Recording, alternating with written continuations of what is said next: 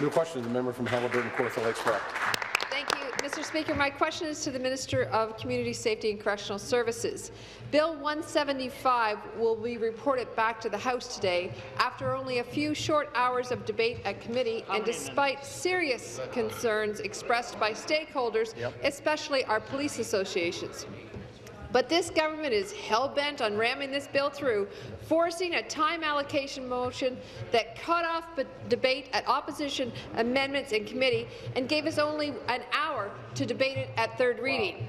Absolutely This shameful. is yet another example of this government's lack of respect for the democratic process and the Yep. members of this House. But what's even worse is the government's attack on our hard-working police officers and civilian staff. Absolutely. Why has this government chosen to completely ignore the very serious concerns expressed by our police associations with Bill 175? Hear, hear. Minister? Well, I thank the member for questions because, you know, uh, actually, it allows me to talk about the Safer Ontario Act that represents, Mr. Speaker, the largest transformation to Ontario's policing and community safety in more than 25 years. And if this bill is passed, Mr. Speaker, it will create a stronger, a safer communities where people get the services they need when and where they need them most. This is not a last-minute project. Actually, Mr. Speaker, it's a five years in the making. We have consulted across the province through our strategy for Safer Ontario, across our prov-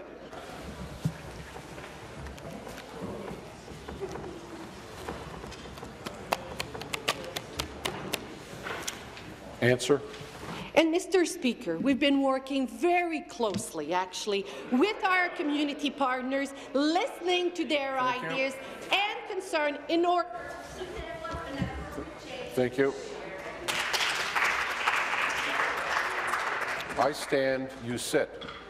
And the reason why you're not seeing me stand is you're not addressing the chair, which is what you're supposed to do. Supplementary. Well, Mr. Speaker, back to the minister. The fact is, even the government, your government tabled around 250 amendments to its own bill Again. at committee yesterday. And guess what? Almost none of them address the substantive concerns expressed by our police associations. Rob Jamieson, the president of the Ontario Provincial Police Association, couldn't have been clearer about what he thought of the government's legislation when he tweeted, quote, another anti-law enforcement amendment. It's hard to believe how much this government despises our profession. Despises, Mr. Speaker. That's a pretty strong word. So my question to the minister is, why won't this government just admit what Bill 175 really is, a symbol of is. their distrust and disrespect for Ontario's police officers.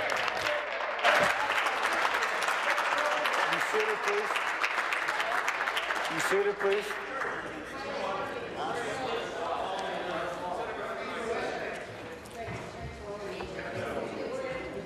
Never too late to get a warning.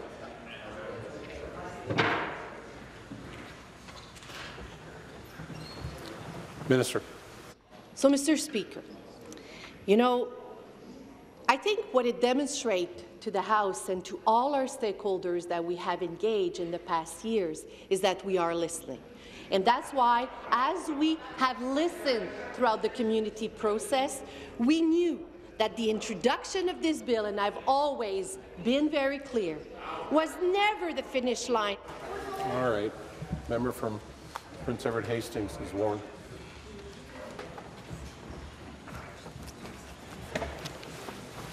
Minister. You know, people spoke passionately during those, those conversations, and as I said, this is not the finish line. This is the beginning of our journey in creating a Member from Kitchener-Conestoga is warned. If I hear another comment, I might go to naming. Carry on. So, so, Mr. Speaker, this is the beginning, the beginning of our modernization to the first time where you will have a, Sir? a community safety well-being plan, where the First Nation policing will have access to opt in on our First Nation on Thank our you. Police Services Act. Question?